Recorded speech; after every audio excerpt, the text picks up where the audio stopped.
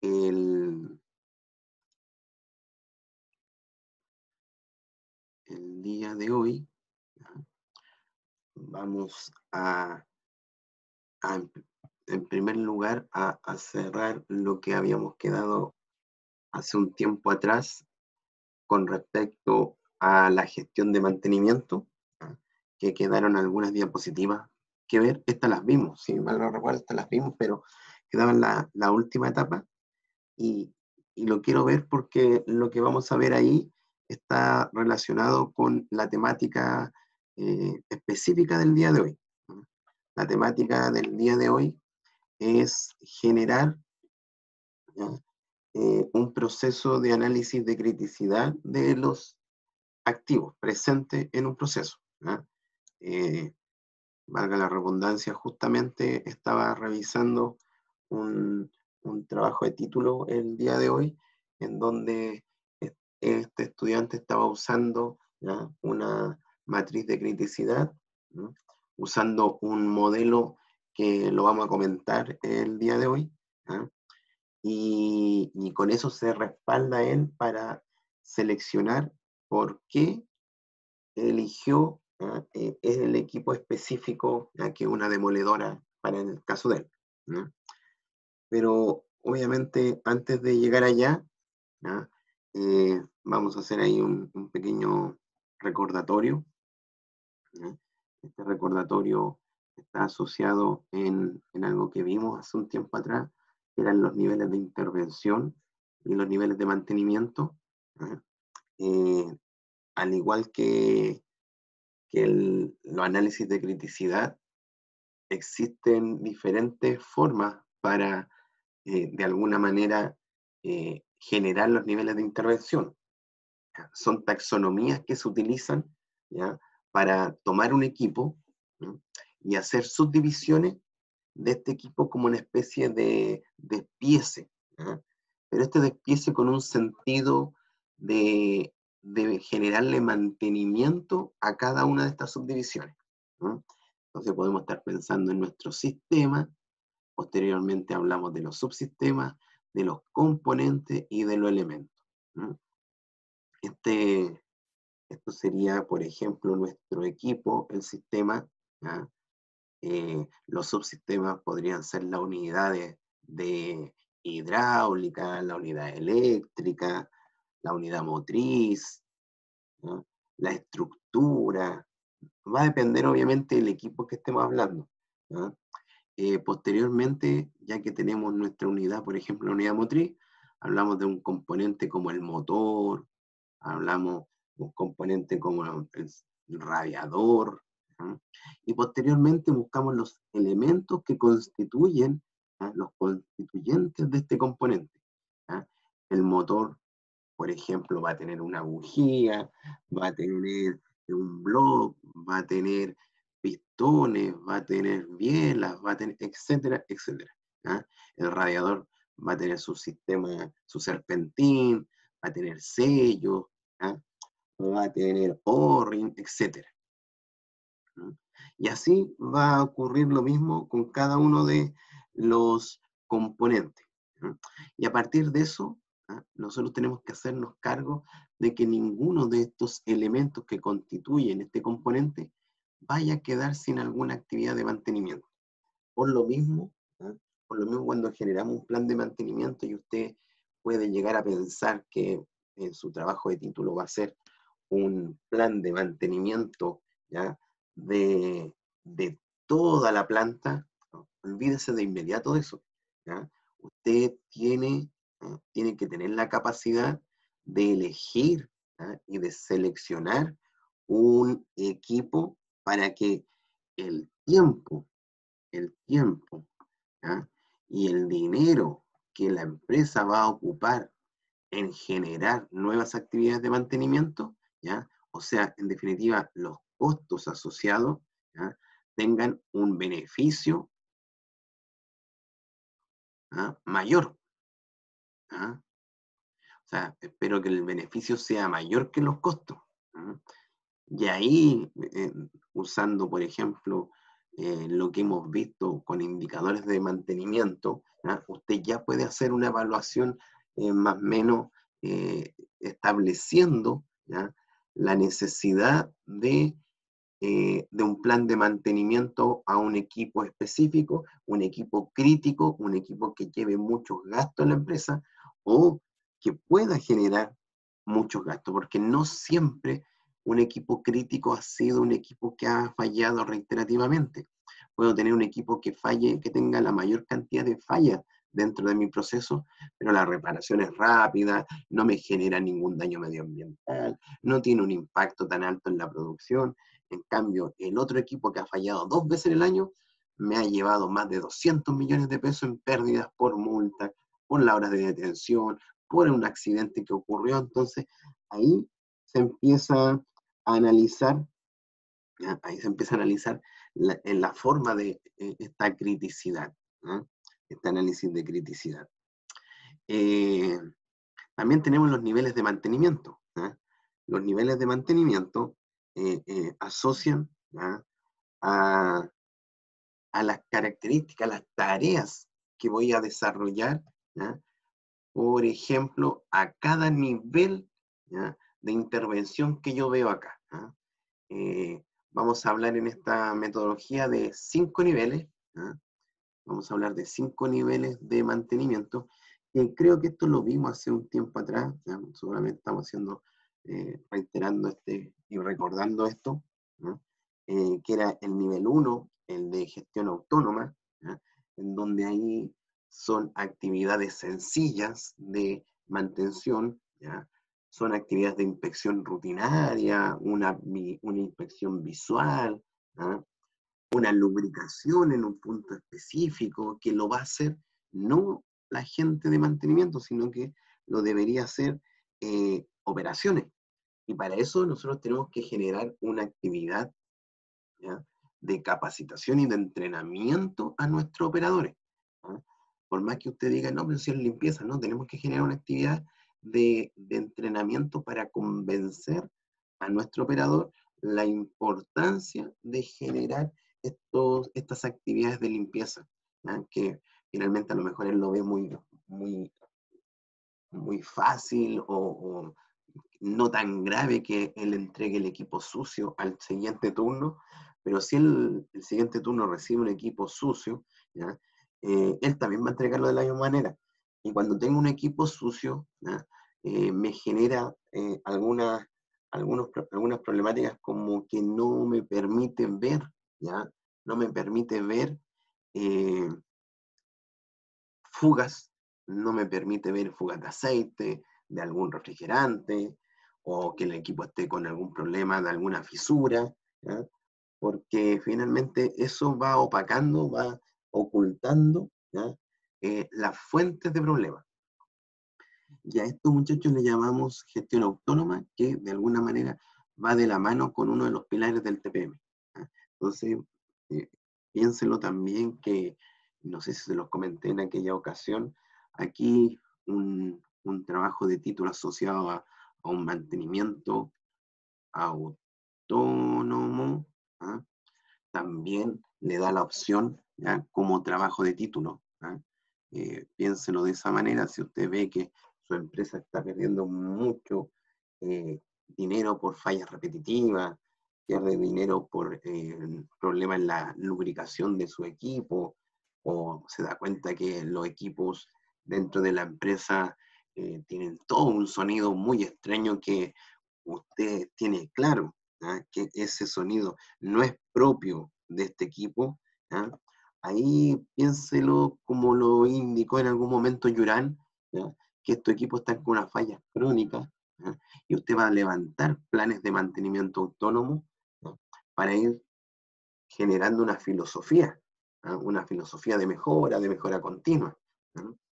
Y va a entregar algunas actividades de mantenimiento autónomo y, esas fichitas tienen que ser muy, muy eh, visuales. Tiene que entender que eh, el operador ¿ah?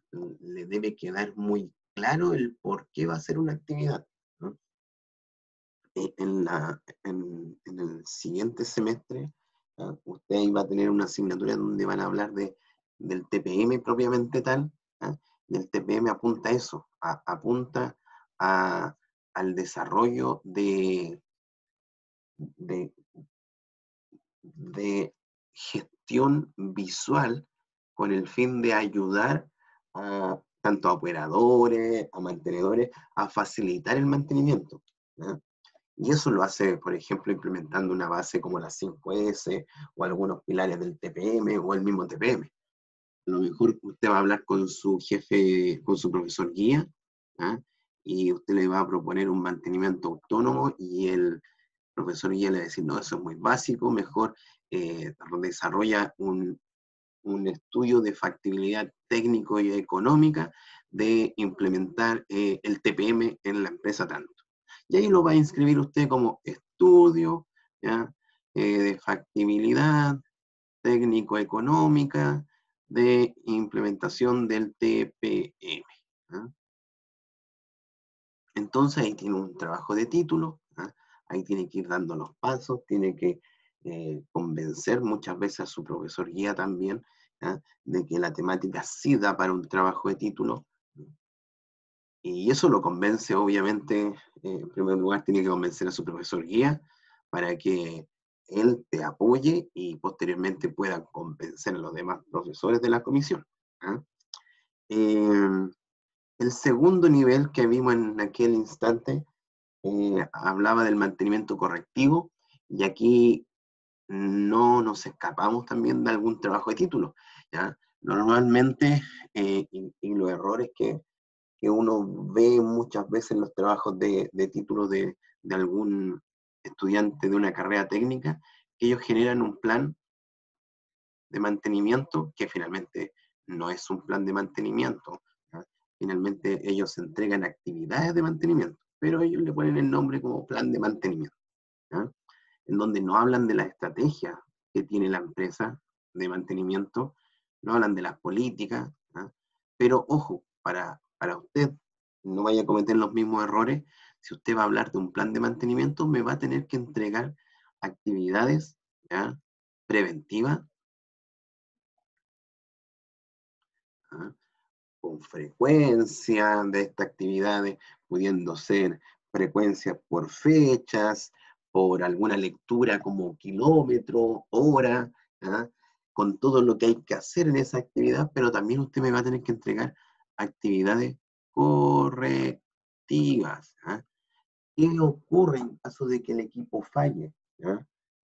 ¿Qué hay que hacer en caso del equipo falle? Entonces usted a través de esas actividades correctivas, usted eh, va a poder ayudarse mediante los ACR, por ejemplo. ¿Ah? O a lo mejor alguien me dice, profe, yo quiero hacer un RCM, pero eh, el RCM es bastante complejo. Pero el RCM el RCM habla de muchos tipos de acciones. Habla de acciones como sustitución cíclica, sustitución cíclica, eh, reacondicionamiento cíclico, eh, mantenimiento bajo condición, eh, búsqueda de falla, rediseño, ningún mantenimiento programado. Y ahí también vamos a tener que encontrar, para poder trabajar con el RSM, que eso lo vamos a ver en unas tres semanas más, ahí nos vamos a enfocar en el RSM. Ahí, muchachos, eh, nos vamos a tener que enfocar en buscar los modos de fallo, que son, de alguna manera, las causas que provocan una falla funcional. Y al detectar y al determinar y al enumerar todos estos modos de fallo, usted, por ejemplo, para un equipo puede tener mm, unos 50 modos de fallo. Generó 50 modos de fallo, pero esos modos de fallo también tienen que tener, de alguna manera, una criticidad. No todos los modos de fallos van a tener la misma criticidad, no todos los modos de fallos van a afectar de igual manera, entonces algunos van a ser con mayor impacto y otros con menor impacto. Entonces vamos a tener que también equilibrar eso, vamos a tener que buscar algún, eh, alguna metodología para poder eh, realizar esa, ese análisis de criticidad. Entonces, muchachos, eh, el RCM, si se dan cuenta, estos que están acá, en primera instancia, estos que están acá, que era la sustitución cíclica, el mantenimiento con, bajo condición, el recondicionamiento cíclico, es más asociado a las actividades preventivas. Y acá, la búsqueda de fallas, ¿ah? ningún mantenimiento programado y el rediseño más asociado a actividades correctivas. ¿ah? Entonces, cuando hablamos de un plan de mantenimiento, no dejamos afuera ni actividades preventivas ni actividades correctivas. No es algo que decir, profe, si lo inscribo como plan de mantenimiento preventivo, no, yo, eh, yo por lo menos como profesor guía no lo permitiría. ¿ah? Eh, yo le diría, no, usted hágase cargo de un plan de mantenimiento complejo.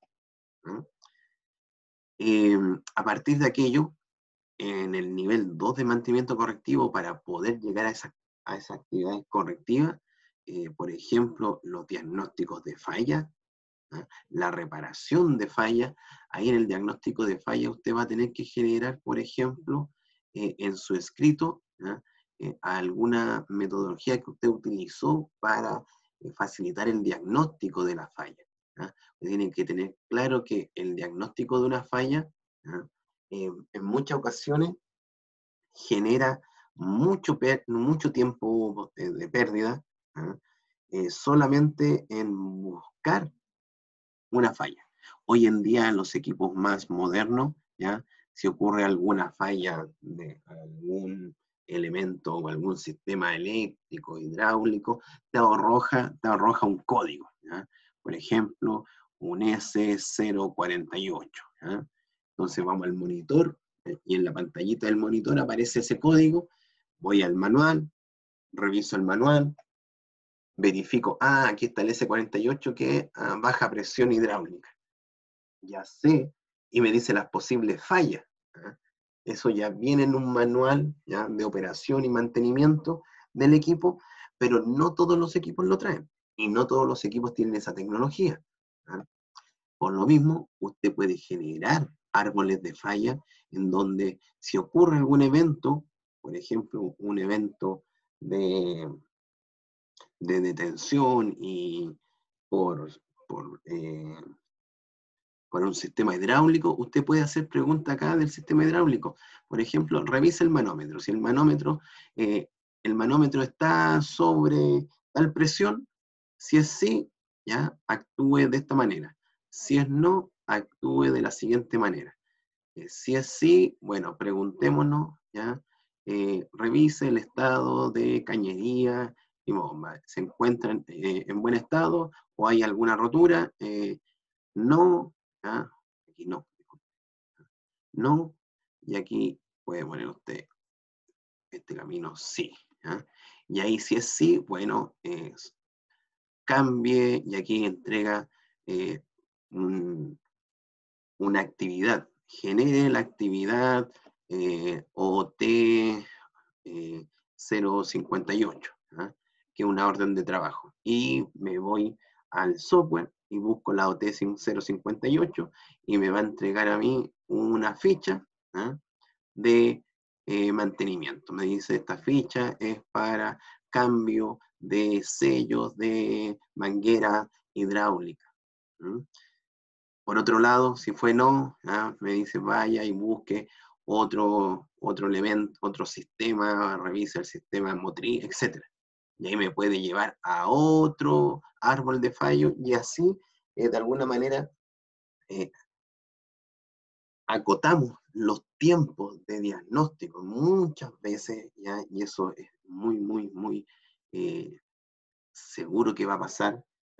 Perdemos mucho tiempo en buscar fallas, en diagnosticar qué ocurrió y la reparación ¿ya? es acotada. La reparación dura 10 minutos pero el diagnóstico nos llevó una hora y media, porque normalmente nosotros cuando ocurre una falla pensamos que ocurrió la falla más compleja y normalmente una pequeña eh, fallita, un relé, un fusible, ¿ah?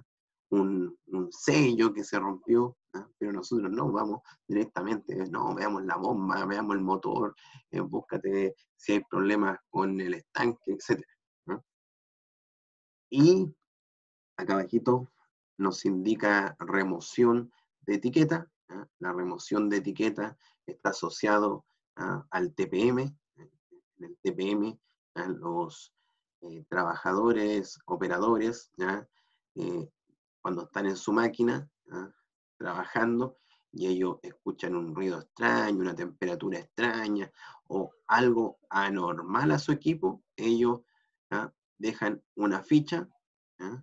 una fichita, en donde indican lo que pasó y estas fichas tienen diferentes colores, si es roja es como urgente, entonces el, el equipo de mantenimiento que va dando ronda va a ver esa fichita,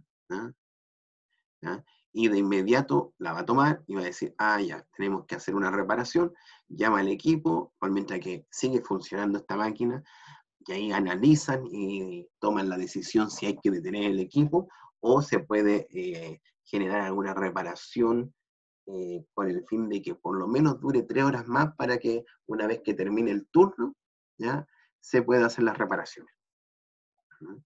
Esa es la remoción de etiquetas, lo hacen obviamente los técnicos de mantenimiento. ¿ah? Eh, recuerde que esto es un mantenimiento correctivo y esto va asociado a cada nivel de intervención. Tengo que ver si este, eh, al componente voy a, voy a preparar actividad de mantenimiento correctivo, al elemento, y tenemos ya el nivel 3, que es un mantenimiento preventivo, son actividades eh, ya actividades preventivas, actividades predictivas, overhaul, la estandarización. Y aquí obviamente están ustedes que tienen que preparar todas estas actividades, tienen que preparar todos estos procedimientos. Tanto, y eso quiero que, quede claro, ¿ah? ahí ustedes van a tener que preparar tanto las actividades de mantenimiento preventiva como las actividades de mantenimiento correctiva. Solo que en actividades de mantenimiento preventivo usted va a poder decir, mira, estas actividades son las que se van a tener que hacer en el año y cada tres meses. Por ende, yo puedo sacar un costo asociado a mi plan de mantenimiento preventivo. En cambio, el mantenimiento correctivo no voy a poder generar eh, de alguna manera un, costo ¿ya? anual, pero sí me doy cuenta de que tengo un historial con falla por ejemplo, ya tenemos un MTBF, un MTTR, manejamos esa información, podríamos sacar un tentativo de cómo eh, nuestro mantenimiento correctivo va a hacer bajar el MTTR. Entonces, si yo genero actividades planificadas, eh, planificadas para el mantenimiento correctivo, no las voy a poder programar. Ojo, las de mantenimiento correctivo no las puedo programar, pero sí las puedo planificar. Entonces con eso voy a disminuir el MTTR y al disminuir el MTTR estoy aumentando la disponibilidad. Eso que nunca se le olvide. Por si usted prepara buenas actividades de mantenimiento correctivo y obviamente prepara buenas actividades de mantenimiento preventiva, va a eh, generar un aumento en eh, las utilidades de la empresa, porque va a aumentar ahí la disponibilidad. Podría también, mediante este mantenimiento preventivo, aumentar la eficiencia, aumentar la tasa de calidad. ¿ah? Y cada una de estas mejoras van a repercutir ¿ah? en los valores finales económicos de la empresa. Tenemos también ya el nivel 4 en la, generación de mejoras continuas. Y ahí está la prevención del mantenimiento. Eh, y por ejemplo, acá tenemos el TPM, que, que sus bases son las 5S y, y en uno de los pilares tenemos obviamente aquí el mantenimiento autónomo, mantenimiento planificado, lo que hablábamos recientemente, Aquí no me hablan de un mantenimiento eh, correctivo ni preventivo, me dice mantenimiento planificado. Tratar de planificarlo cómo vamos a actuar. mantenimiento de calidad, prevención del mantenimiento. ¿Y cómo podemos prevenir el mantenimiento? Eh, mediante eh, proyectos de mejora continua, mediante técnicas que vamos a aplicar a mejora continua. Y esos los van a tener que generar los trabajadores, los que están ahí en el día a día, tanto operadores como eh, mantenedores.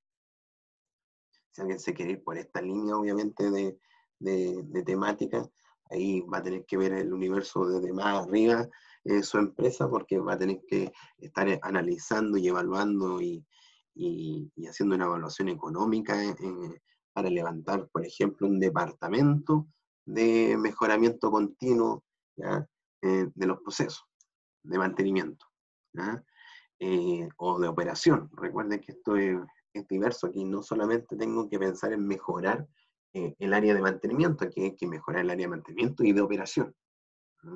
Por más que nuestro título, cuando usted termine su carrera, salga con un título de ingeniero en mantenimiento, eh, tenga claro que el mantenimiento no vive solo, no, no, no, está solo en una empresa, tiene que eh, estar en, contacto con otro ente, no es una isla. Y el nivel número 5 ya lo dejamos para un nivel en donde van a estar las grandes intervenciones y las intervenciones de los, de los proveedores, del fabricante. Ahí, ahí entra la empresa, los especialistas, los especialistas de, un equipo. Muchas empresas fabricantes eh, venden su, su contrato, está asociado directamente a generar un servicio por ejemplo, de trasladar mineral eh, o carguío, pero eh, la mantención puede quedar a cargo tanto del mandante como de esta empresa, pero normalmente cuando se tienen que hacer grandes intervenciones, ahí la mandante dice, mira, yo aquí no soy especialista, yo sabía hacer algunas actividades que me indicaba el manual, que era lubricar, que era inspeccionar, ah, pero aquí esto de cambio de corona, por ejemplo, yo los contrato a ustedes. Ustedes son los especialistas, ustedes conocen la máquina ¿ah? mejor que nadie, así que aquí doy un paso al costado y lo que tenga que pagar, eh, tendré que hacer esta, este trabajo. Y eso ya se toman las decisiones a un nivel ya más, más jerárquico, más arriba, con una mayor jerarquía, la gerencia de mantenimiento, la gerencia de, de activos, de confiabilidad. Eh, y como lo indiqué, eh, en el nivel 1, donde estaban los operadores, los operadores van a ser los encargados de estar desarrollando actividades autónomas limpieza, lubricación, alguna inspección y en caso de que ocurra alguna fallita, van a dar el aviso ahí mediante una etiqueta, mediante un llamado. Si ocurre alguna falla ah, o, alguna detención, son los encargados de los técnicos, son los encargados de ir a reparar. ¿ah? Son los encargados de ir, verificar, analizar, diagnosticar la falla, reparar la falla y acá, en el nivel 3, son los encargados de levantar actividades preventivas que obviamente ellos la van a realizar, pero las que la van a ejecutar van a ser acá, el, nivel 2, los mantenedores.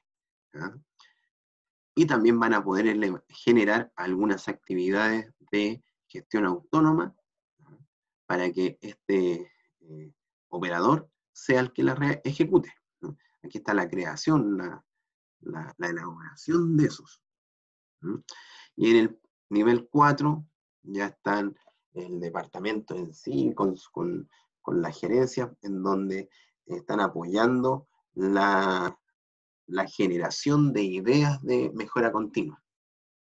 Y aquí en nivel 5 ya es la toma de decisión, para procesos de formación, para procesos de, de, contratar a, una empresa, a la empresa fabricante para hacer una intervención. Son los encargados de analizar y programar una gran parada de planta. Entonces, ahí están los niveles de mantenimiento. Tal como le había indicado, eh, existen otras taxonomías, y una de las taxonomías existentes está asociada a la ISO 14224, que es mucho más, eh, comienza mucho más arriba. Por ejemplo, la que acabamos de ver, eh, podríamos decir que la que acabamos de ver está aquí, de aquí hacia abajo. Pero esta taxonomía se va más allá. Eh, esta taxonomía empieza a hablar desde de qué tipo de industria pertenece, eh, a qué instalación se va a hacer cargo, qué planta de esta instalación se va a hacer cargo, etc. por lo mismo, en la primera etapa de estos niveles, acá hablamos más del uso y la ubicación, y en la segunda ya, en la segunda etapa ya hacemos, realizamos la subdivisión de estos equipos. Y ahí aparece una palabrita que es muy utilizada en la industria, que es el ítem mantenible. Vamos a revisar qué es el ítem mantenible. Em, la descripción de esto ¿ah? apunta específicamente a que, ah, ojo, que esta ISO es una normativa que la vimos al inicio de, estas presentaciones de gestión de mantenimiento, que apunta a las empresas del sector petrolero, petroquímica y de gas. Ahí apunta esta ISO. Y por ende, eh, su primer nivel habla de qué tipo de industria y lo asocia así, petróleo, gas natural o petroquímica, porque esta normativa es, de ello. Ahora, ¿nosotros podemos ocuparla en nuestros procesos? Claro que sí, tenemos que hacer obviamente en la lectura y, el, cambio de, lo que aparece acá como ejemplo, pero ya la definición te la va a dar. Por ejemplo, alguien me dice, profe, yo trabajo en una manufactura, ¿la podría hacer? Revísenlo, eh, intentémoslo. ¿sí? Es la idea de que en un trabajo de título usted también vaya haciendo aportes, vaya generando ¿ya? nuevo conocimiento. en el nivel 2 ya hablamos de la categoría del negocio, asociado al, flujo del proceso, a,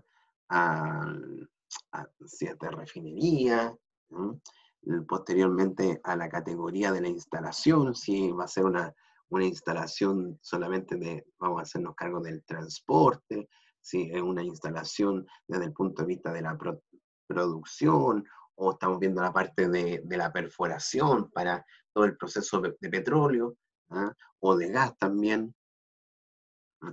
o, o, la parte petroquímica. Eh, posteriormente, si se da cuenta, todavía no llegamos al equipo, todavía no llegamos al equipo al nivel 5. ¿ah? Eh, en, el, nivel 4 ¿ah? de esta taxonomía hablamos de la planta, ¿ah? de la unidad. Eh, y aquí hablamos si es la planta de ácido, si es la planta metanol, metanol si es la parte de, de de etileno, etc. Son, son las plantas que están dentro de esta instalación. Posteriormente, en el nivel 5, de inmediato, Cristian, ya de inmediato, en este nivel 5 ya lo asociamos a, la sección, eh, al, sistema principal de la planta. Si, estamos hablando de, la parte de compresión, si va a ser la parte de, la, del sistema de reacción, de los sistemas de carga de tanque, etc. Y recién, recién esta normativa en el punto 6, en el nivel 6, se empieza a hacer cargo de la subdivisión de equipo. Eh, don Cristian, usted había levantado la mano, don Cristian Alegría. Eh, sí, profe, buenas tardes. Era de la primera anterior, la consulta. Dígame.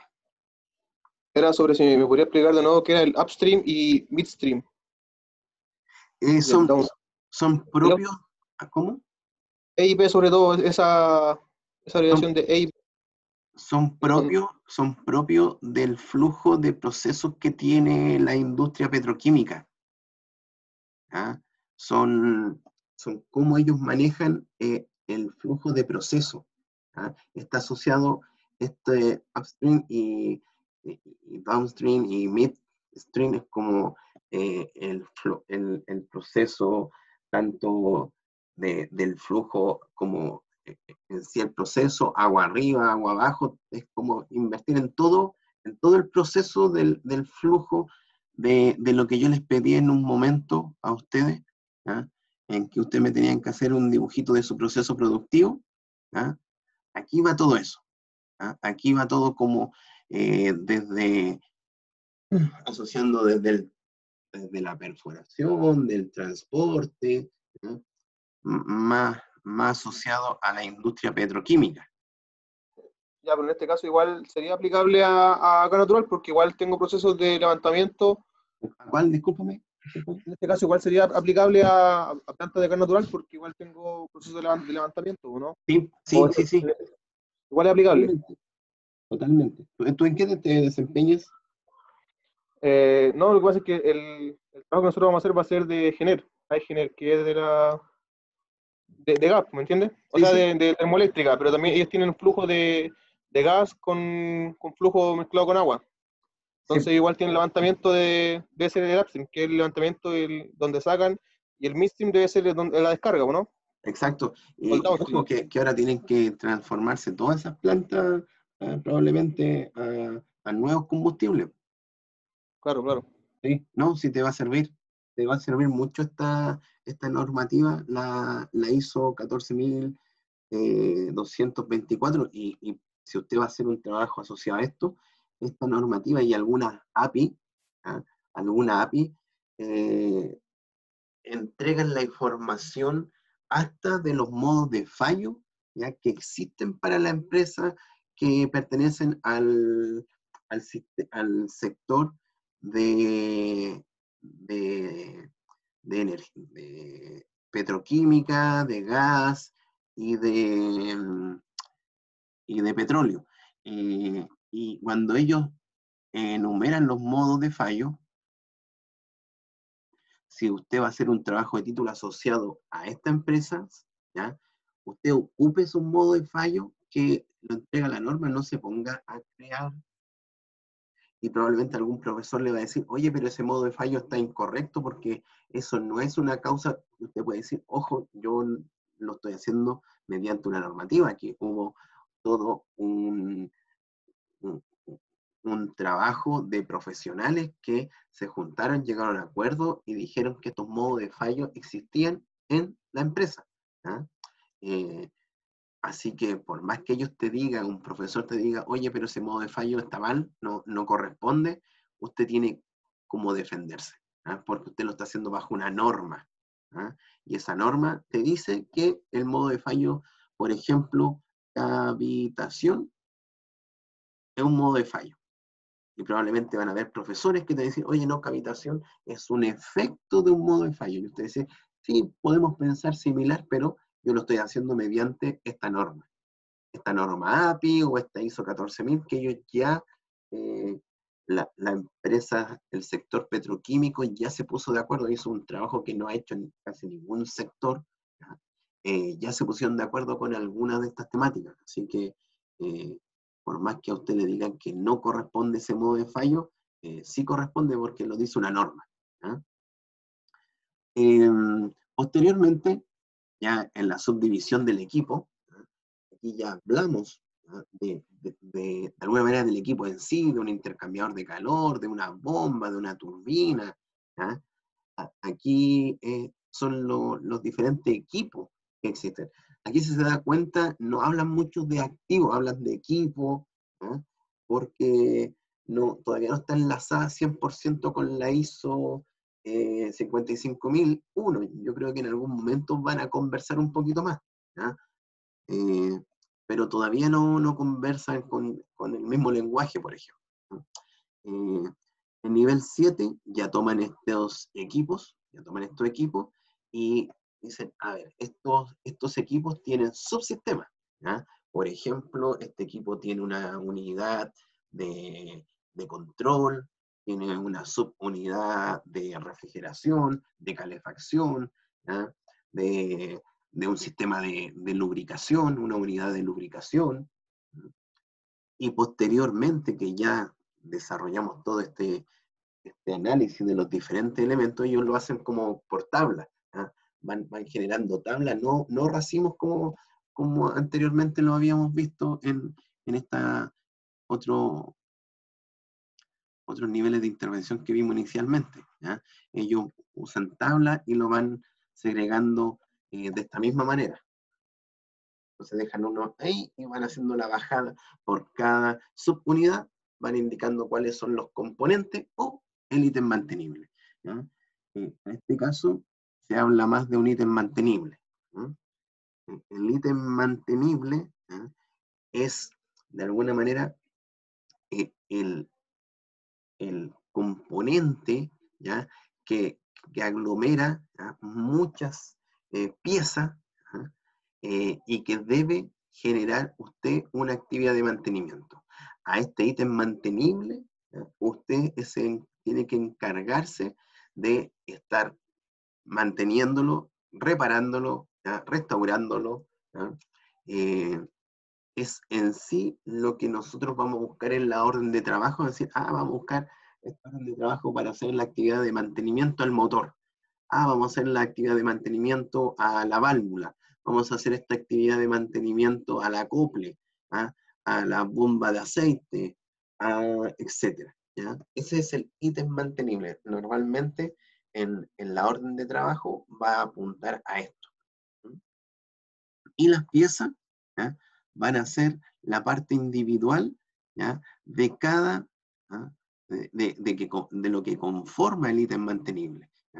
Por ejemplo, eh, anteriormente le habíamos llamado el elemento, aquí se le llama la pieza, eh, que es un sello, la carcasa de una bomba, la carcasa de un filtro, las membranas de un filtro, un perno, una tuerca, una llanta, eh, un impulsor, un PLC, eso va a ser una, pieza.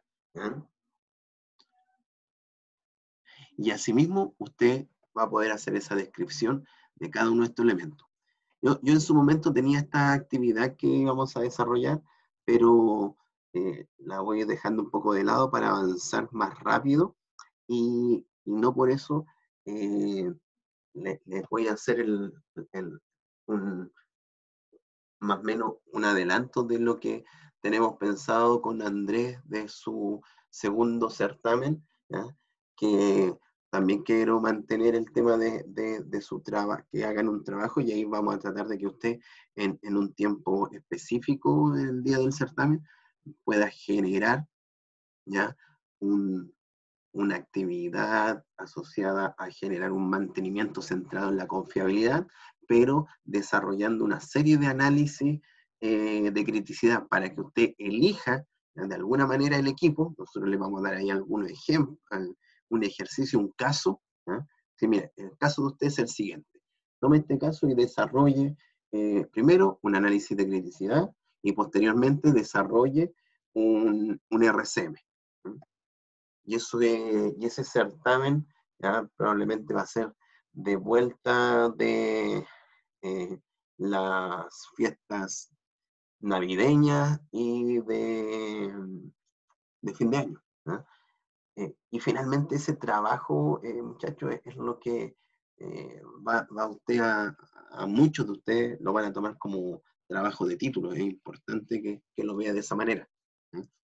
Y en la parte propiamente tal de lo último que vamos a ver en esta asignatura, es, está asociado también a, los contratos, a, que usted en su trabajo de título nunca deje afuera el contexto operacional. Yo, yo, yo, voy a repetir incansablemente esa palabra, es el contexto operacional. ¿ah? Este contexto operacional le va a dar a usted y sobre todo al lector más o menos la información de cuáles son las variables, los parámetros que afectan a su equipo. Tanto parámetros, por ejemplo, metros sobre el nivel del mar, eh, los turnos de trabajo, el contrato, eh, el, día a día, los turnos. Y ahí está, por ejemplo, esta explicación que voy a hacer a continuación. Eh, usted, en caso de que sea una empresa que trabaje en una empresa mandante o desarrolle su trabajo en una empresa mandante, usted va a tener que hablar de cómo es eh, el trabajo, la relación que tienen con los contratistas. Y si usted fuese de una empresa contratista, usted tendría que explicar cómo el contrato eh, se establece con el mandante. Y también usted como contratista, usted va a desarrollar su trabajo en una empresa que es contratista, probablemente su empresa en la cual usted pertenece, que tiene un mandante, pero también tiene empresas subcontratistas. Usted va a tener que hablar de todo eso en algunos en algunos, en el capítulo 1, por ejemplo. Y, y quizá no generar tanta información de repente de que uno ve trabajos de título, ¿ya? que son 10 páginas eh, del proceso productivo para generar energía, ya que eh, don Cristian ya habló de, aquello. Eh, trate de, ahorrar esas 10, 15 páginas que usted puede ver fácilmente en algunos trabajos de título, llévelo a, a tres páginas y lo simplifica, lo sintetiza y todo lo demás lo puede dejar en los anexos. Pero ahí lo que nos va a importar es más asociado a los tipos de contratos, cómo se relaciona esta empresa mandante con sus colaboradores, cómo se relaciona la comunidad aledaña, cómo se relaciona con el tema de la gestión de activos. Por ahí va a ir ahora más su trabajo. ¿eh? recuerde que ahora usted va a estar optando a un trabajo, a un título de ingeniería en mantenimiento industrial ya no existe la ejecución. Antiguamente esta carrera era de ejecución y es más, ahora usted tiene una licenciatura. Entonces, por lo mismo usted tiene que ver ahora de otra, de, otro nivel su trabajo. Entonces, aquí vamos a hacer un, simple ejemplo, una pequeña animación que les desarrollé. Usted va a tener que indicar, por ejemplo, que el contrato que tiene eh, su empresa con el mandante eh, se establecen las diferentes directrices, por ejemplo, mantener una cantidad X de producción diaria, de producción semanal o, producción mensual, semestral, ahí usted podría hacer hincapié en que el contrato está asociado más a la producción, al movimiento de mineral, o a lo mejor alguien dice, no, profe, el contrato de nosotros eh, corresponde a que tenemos que tener eh, el 88% de disponibilidad de la flota.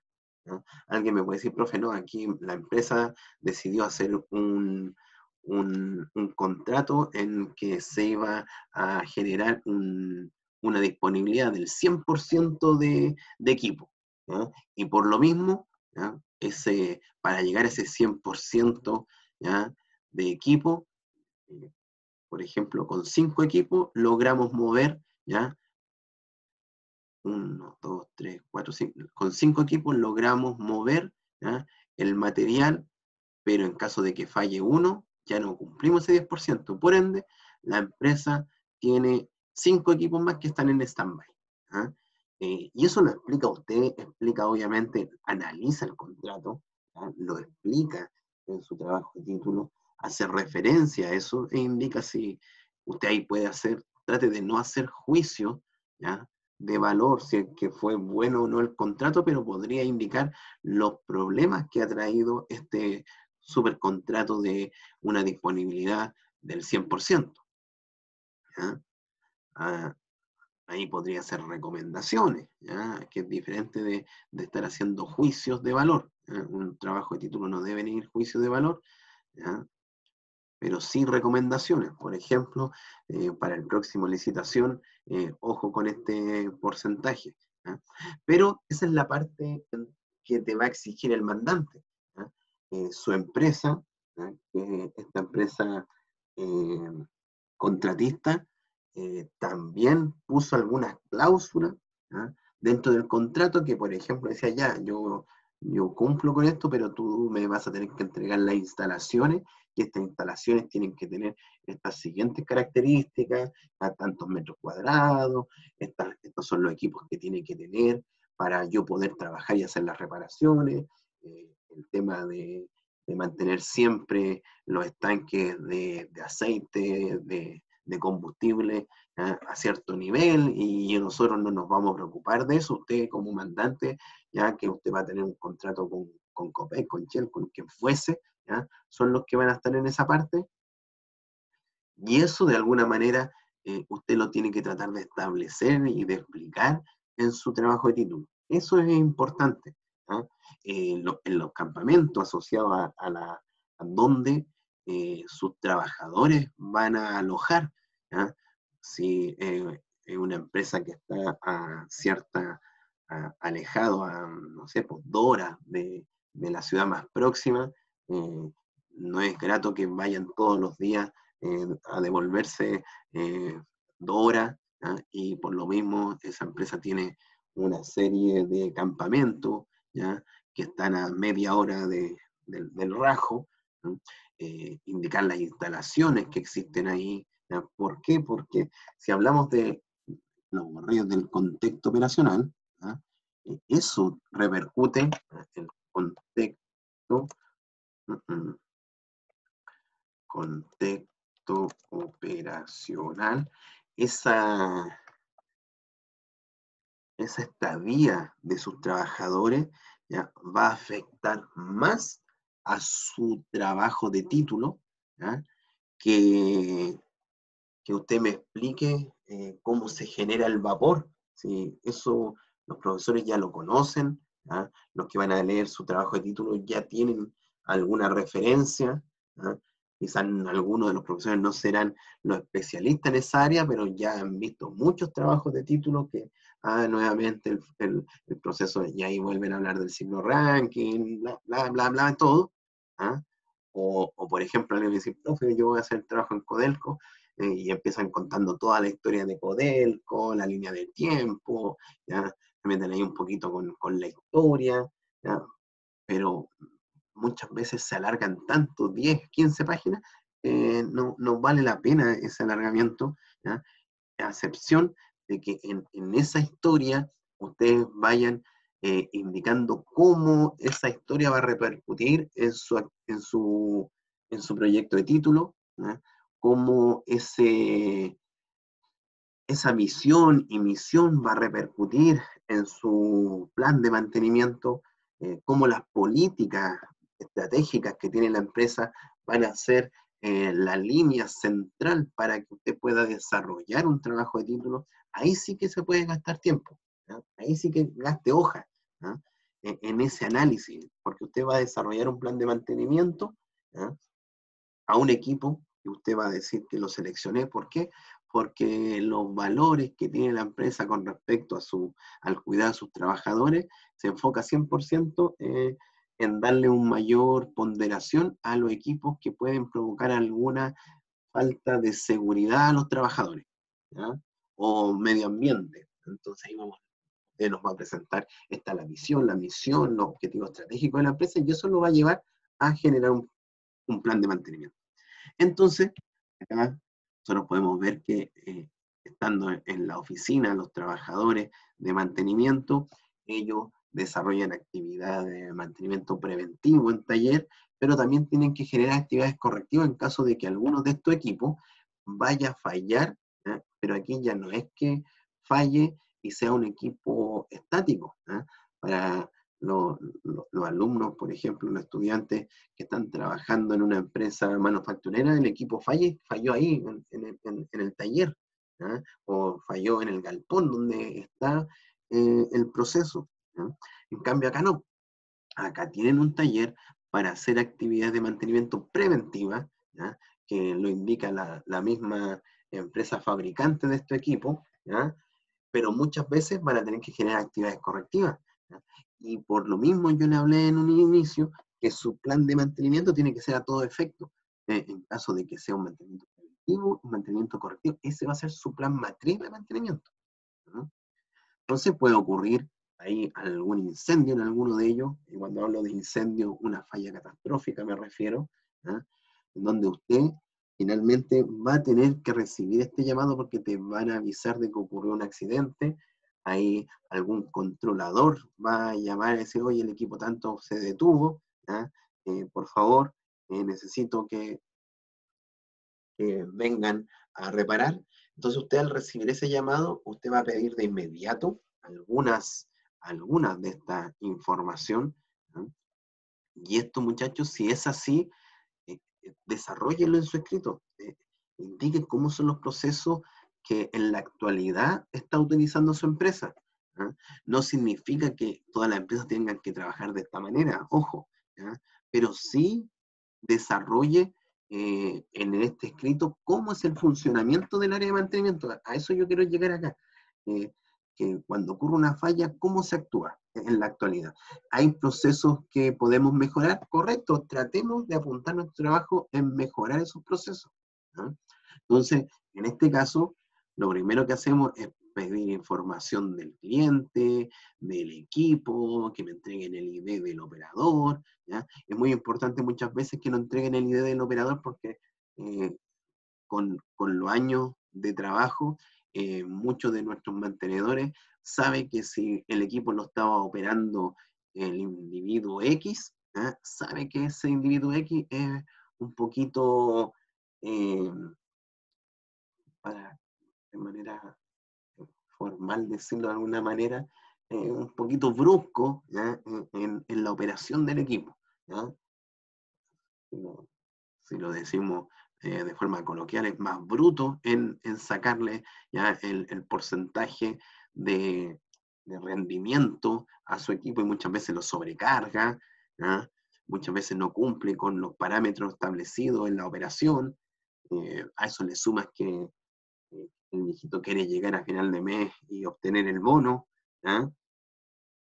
eh, sin lugar a duda, eh, todo eso se, entiende y, si por parte de, los operadores conocen esto, ya saben cómo actuar. En definitiva, nosotros estamos entrevistando acá a este operador para tener alguna idea de qué tipo de falla ocurrió. Recuerde que usted está en un taller y para llegar acá a lo mejor tenemos unos 10 kilómetros. 10, eh, entre 5 a 10 kilómetros eh, en camino peligroso